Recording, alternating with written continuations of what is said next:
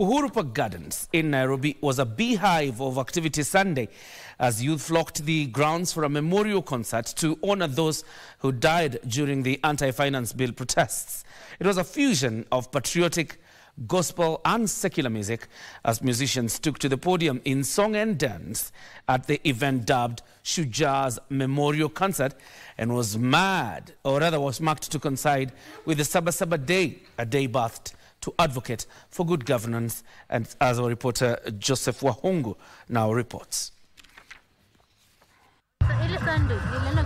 As early as 9 o'clock Sunday morning, Kenyans started streaming into Uhuru Park for a memorial concert. In their thousands, they heeded calls to converge at the park in remembrance of 41 people who died during the anti-finance bill demonstrations in the last two weeks.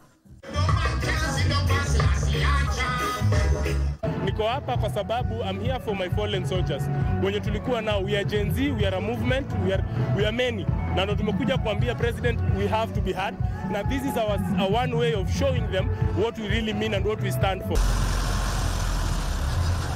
Security was tight in and around Uhuru Park. Everyone entering the park was thoroughly frisked by a private security team and police officers who were on patrol.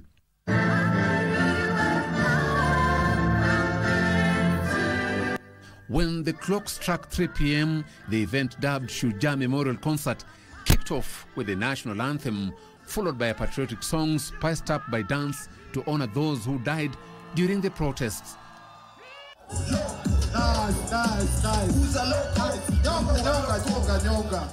During the event, names of the victims who died were read out several times, and with it the crowd chanted in response, terming them as true patriots who lost their lives in pursuit of what they say is a good cause.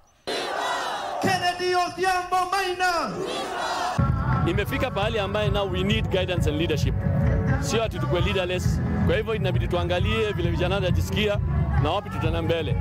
At the end of the day, root is not the problem, it's the system. They would also mount crosses bearing the names of those who died as a reminder of the loss. This small tree was temporarily demarcated for participants to write condolence messages and display them on the tree. Artists who graced the event, which ended at 7 p.m., included Bien, Sarabi Band, DJ Mo, among others.